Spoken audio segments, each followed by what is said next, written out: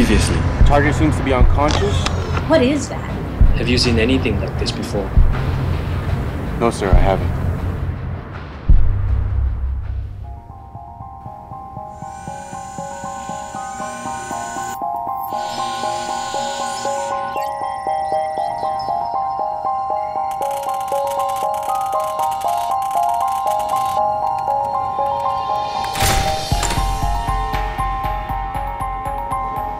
Tried everything X ray, MRI, sonar, thermal scans, even beta tested new military technology.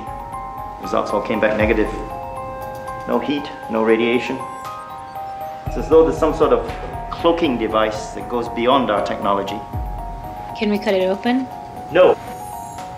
Until we know what we're up against here. The risks are too high. Let me see if I can do some further work on this.